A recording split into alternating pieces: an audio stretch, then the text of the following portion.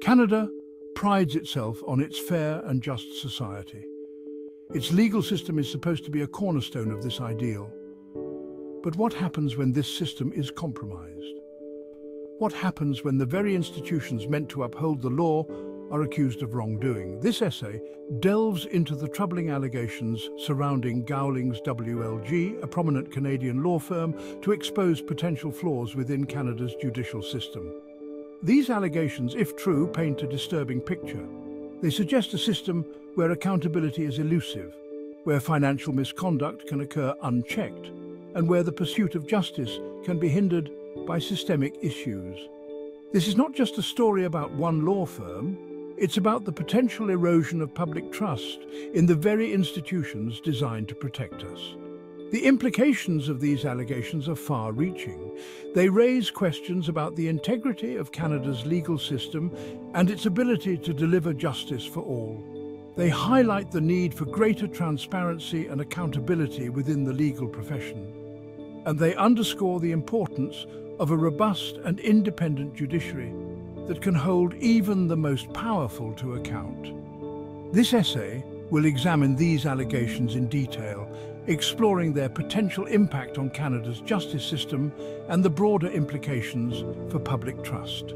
It will also delve into the systemic issues that may have contributed to these alleged wrongdoings and propose potential solutions for a more just and equitable legal system. At the heart of this investigation are serious allegations levelled against Gowlings WLG. The firm stands accused of financial misconduct, including the misuse of client funds. These accusations, if proven true, strike at the very core of the legal profession, where trust and integrity are paramount. One of the most concerning allegations involves the alleged misappropriation of funds belonging to a client. It is claimed that Gowlings WLG used these funds without proper authorization to cover their own legal expenses. Such actions, if true, represent a blatant breach of fiduciary duty and raise serious ethical concerns. Further allegations suggest that Gowlings WLG may have acted in contempt of court. This accusation implies a disregard for the legal process and a willingness to operate outside the bounds of the law. Contempt of court is a serious offence, one that undermines the authority of the judiciary and erodes public confidence in the legal system. These allegations, while still under investigation, have already cast a long shadow over Gowlings WLG and raised serious questions about the firm's conduct. The accusations, if proven, could have significant legal and reputational consequences for the firm. One of the most troubling aspects of this case is the alleged suppression of information. It is claimed that Gowlings WLG went to great lengths to silence those who attempted to expose their alleged wrongdoings. This alleged silencing campaign, if true, raises concerns about a culture of secrecy and a lack of accountability within the firm. Whistleblowers play a crucial role in exposing wrongdoing and holding powerful institutions accountable. When attempts are made to silence them, it not only harms the individuals involved, but also undermines the public's right to know. A system that protects wrongdoers while silencing those who dare to speak out is a system ripe for abuse. The allegations against Gowlings WLG, if true, suggest that the firm may have prioritised protecting its reputation over upholding ethical standards. This prioritisation of self-preservation over transparency is a dangerous precedent, one that erodes public trust and undermines the integrity of the legal profession. It is essential that whistleblowers feel empowered to come forward without fear of retribution. Creating a culture where speaking truth to power is encouraged, not punished, is crucial for ensuring accountability and preventing future wrongdoings. The allegations against Gowlings WLG, while serious in their own right, also point to potential systemic flaws within Canada's justice system. These flaws, if left unaddressed, could erode public trust and undermine the fairness and impartiality of the legal process. One such flaw is the potential for conflicts of interest within the legal profession. When lawyers or law firms have personal or financial stakes in the outcome of a case, it can compromise their ability to act impartially and in the best interests of their clients. This potential for bias undermines the very foundation of a fair and just legal system.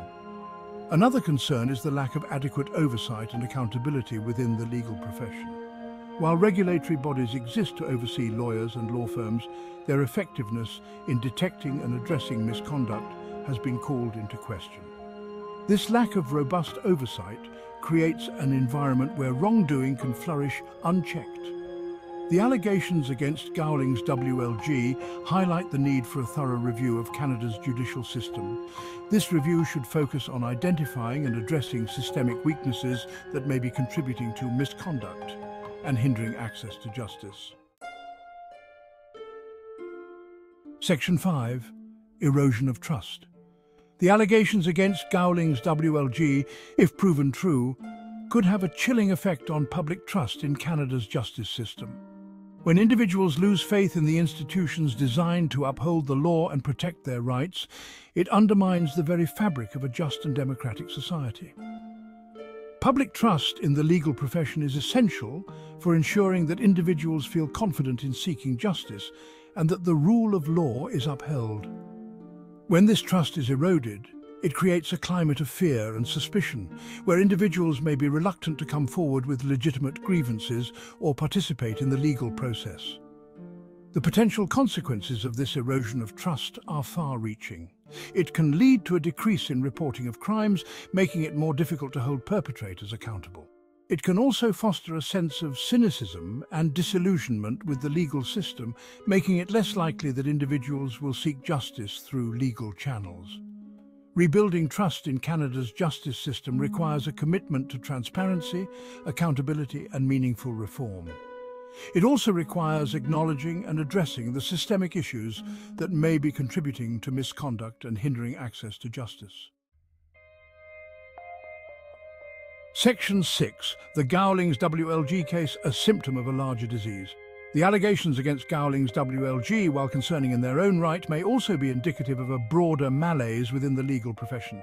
The pursuit of profit, coupled with a culture of secrecy and a lack of accountability, has created an environment where misconduct can thrive. The pressure to generate revenue can lead law firms to prioritise financial gain over ethical considerations. This pressure can manifest in various ways, from overbilling clients to engaging in questionable legal tactics to secure favourable outcomes. Furthermore, a culture of secrecy within the legal profession can make it difficult to expose wrongdoing. Law firms often operate with a high degree of autonomy, and internal mechanisms for reporting misconduct may be inadequate or ineffective. This lack of transparency allows unethical behaviour to continue unchecked, the allegations against Gowling's WLG highlight the need for a fundamental shift in the culture of the legal profession. This shift must prioritise ethical conduct, transparency and accountability over the pursuit of profit at all costs. The Gowling's WLG case also exposes a harsh reality within Canada's legal system, the slow and often arduous journey to justice. Lengthy legal battles, procedural complexities and a backlog of cases can deter individuals from seeking redress, especially when facing powerful opponents like Gowling's WLG. For those who have suffered harm due to alleged misconduct, the pursuit of justice can feel like an uphill battle. The time and resources required to navigate the legal system can be daunting, particularly for individuals already grappling with the emotional and financial fallout of the alleged wrongdoing. This delay in justice can have devastating consequences. Victims may feel re-victimized by a system that seems more concerned with procedure than with delivering justice. The prolonged uncertainty can exacerbate trauma and make it difficult for individuals to move forward with their lives. Addressing this systemic issue requires a multi-pronged approach.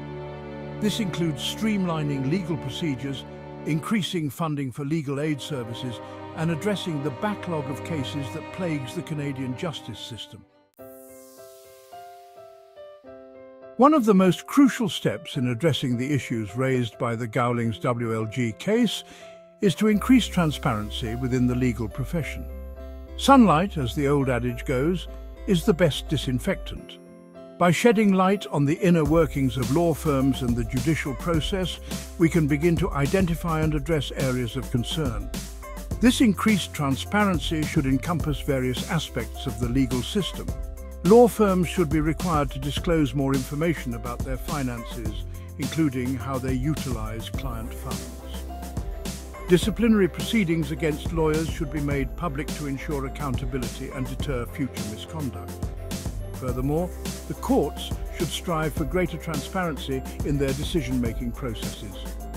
Making legal decisions and the reasoning behind them more accessible to the public can help to demystify the legal system and foster greater public trust. Transparency alone is not a panacea, but it is an essential first step in creating a more accountable and trustworthy legal system. Rebuilding trust in Canada's justice system requires more than just investigating individual cases of alleged misconduct. It demands a fundamental re-evaluation of the values and principles that underpin the legal profession and a commitment to meaningful reform. Legal education plays a vital role in shaping the ethical compass of future lawyers. Law schools must go beyond teaching legal doctrine and equip students with a strong sense of ethics, professionalism and social responsibility. Furthermore, regulatory bodies tasked with overseeing the legal profession must adopt a more proactive approach. This includes conducting regular audits of law firms, investigating complaints thoroughly and impartially, and imposing meaningful sanctions for misconduct. Finally, the legal profession must embrace a culture of continuous improvement. This involves actively seeking feedback from clients, promoting diversity and inclusion within the profession, and engaging in ongoing dialogue about how to better serve the needs of Canadians. The allegations against Gowling's WLG serve as a stark reminder that even in a country like Canada, with its strong democratic traditions, the pursuit of justice is an ongoing process. It requires constant vigilance, a willingness to confront uncomfortable truths, and a commitment to holding those in power accountable. By addressing the systemic issues that may have contributed to the alleged wrongdoings, fostering greater transparency and accountability within the legal profession and empowering individuals to seek justice, Canada can work towards a legal system that truly lives up to its ideals. The journey towards a more just future demands a collective effort. It requires the engagement of citizens, lawmakers, legal professionals and the judiciary. By working together, Canadians can create a legal system that is fair, equitable and worthy of their trust.